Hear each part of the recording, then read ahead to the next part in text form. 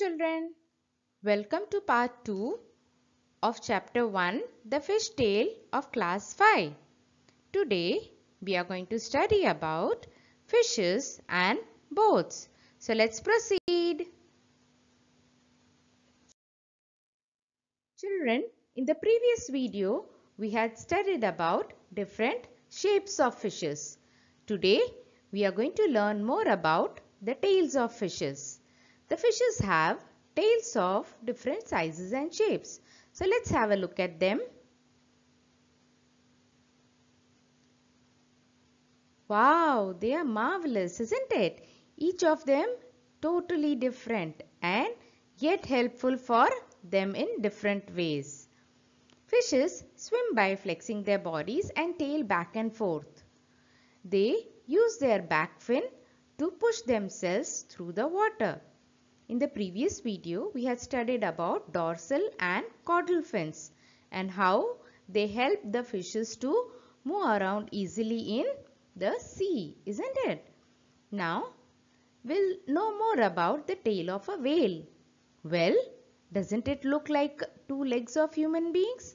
Yeah, it does, isn't it?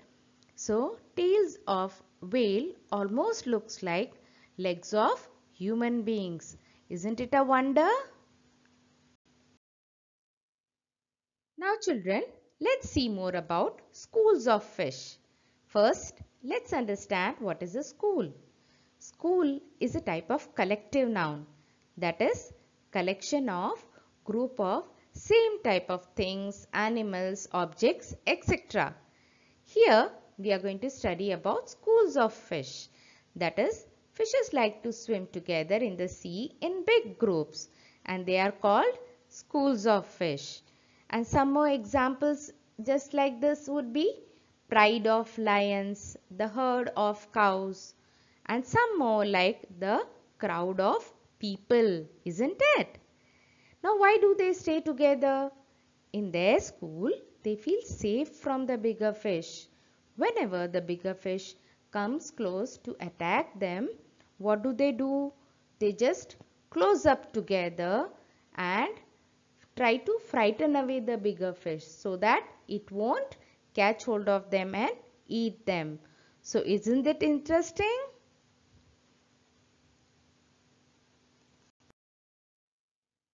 Save from bigger fish. To scare away the bigger fish, what do some small fishes do? They drink up lots of water, swell up and look big. So what do the bigger fishes think? They think, oh my god, this fish is bigger than me. So let me stay away from it. So it goes away. Isn't it interesting? Now let's learn how to draw some fishes. Jinsei used these shapes to make drawings of fish. Now can you use these shapes to draw different sea animals? Well, it's very simple. You can try to draw and color it as per your choice. Animals.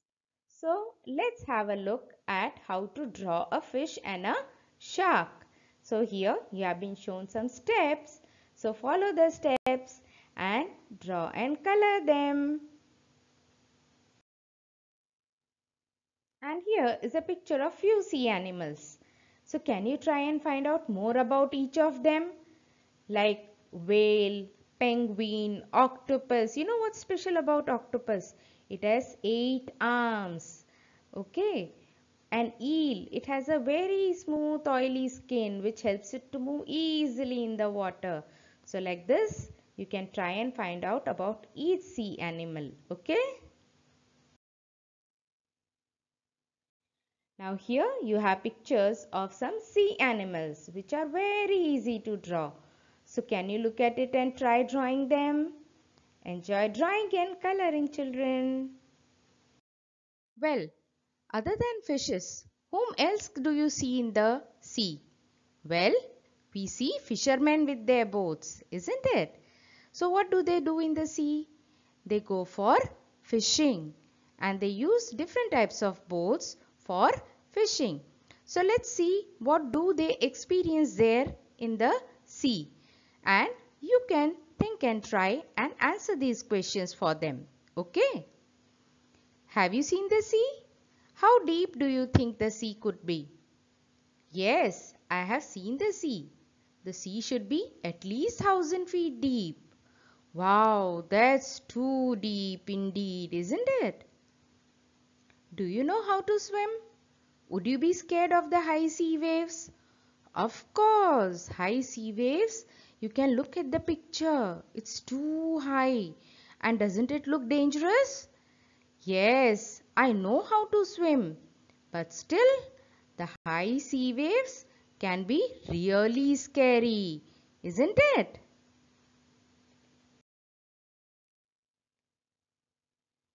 Now, how high do you think the waves can go? Well, I think the sea waves can go as high as 50 meters. Can you see? The whole ship is sinking in the sea waves, isn't it? So it can really be too high and dangerous at times, right? Now children, let's see about different types of boats fishermen use for fishing in the sea. The first is log boat. This was used long time back. The next is a long tail boat. It gets its name from the long tail on it. The next is an oar boat. Oar boats are used simply just for boating or moving around easily. The last one, oh, this is a motorboat.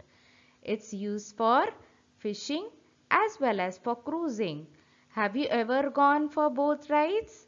Well, maybe you might have traveled in one of the motorboats and if you have, please discuss with your friends about it and how you enjoyed the boating. Now further, let's see in detail about each of these boats. Okay?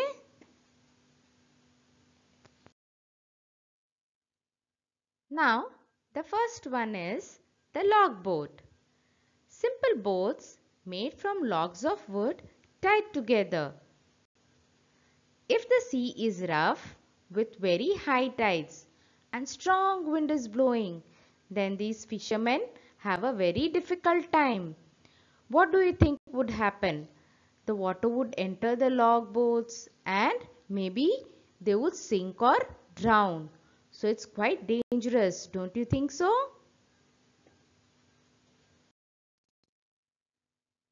Now children, let's see about oar boats. Oars are traditionally made of wood. They form a long shaft with flat blade on the end. The oar, when moved along in water, helps the boats to propel ahead. That is, to move the boat ahead, you have to push the water back and for that the oars are used to push the water back which helps the boats to move ahead. They are used nowadays for transporting goods. Goods means different types of materials, items. And also they are used in various competitions. You can see in the second picture, they are using it for a competition, right? So let's go ahead and see about next type of boat. Now children, this is about long tail boats. These are mostly found in Southeast Asia. It has an automotive engine with a propeller. Propeller means a type of oar which has a machine or an engine fit on it which helps the boat to move ahead using the engine. It has simple controls which helps operate the boat easily. That is just like we are able to ride the bicycle and use the handlebar to change its directions. The same way its controls are very easy to operate. These are now often used to transport tourists from one place to another. These are also used in various boating competitions around the world. A few of them are shown in the pictures here. It's mostly used in Thailand and southern part of India that is in Kerala. So isn't it fun?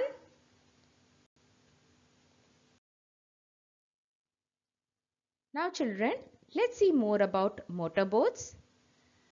It is also known as speedboat or powerboat. It has an engine installed inboard or outboard that is in the inner part of the boat or on the outer part of the boat. Its engines run on fuels like gasoline, diesel or steam. Here you can see in the pictures on the left side the engine is installed in the inner part of the boat whereas on the right side you can see the engine is outer side of the boat. These are popular nowadays due to wakeboarding. And what is wakeboarding? Well, it's a type of a water sport where a rider on a small boat is towed by a motorboat attached by a cable. So, isn't it an interesting sport? How many of you do like to try it out? Well, do discuss about it with your friends and when you get an opportunity, surely do try it. Now children, last we are going to see about trawler boats. These are huge boats also called as cruising trawlers or trawler yachts. They have a huge load carrying capacity. That is, they can carry tons and tons of loads very easily. Trawling is a method of fishing that involves dragging or pulling the trawls, also known as fishing nets along the sea surface. Can you see on the left hand side?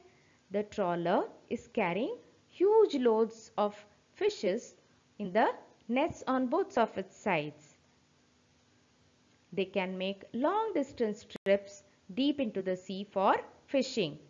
Because they are huge, they can very easily travel deep into the sea, even if there are huge and high tides in the sea. So I hope you enjoyed learning about different types of boats. With this, we come to the end of part 2 of chapter 1. I hope all of you enjoyed watching the video, learning about different types of boats and schools of fish, isn't it? If you did like my video, please click on the like button also subscribe and share. Thank you all. Bye. See you soon.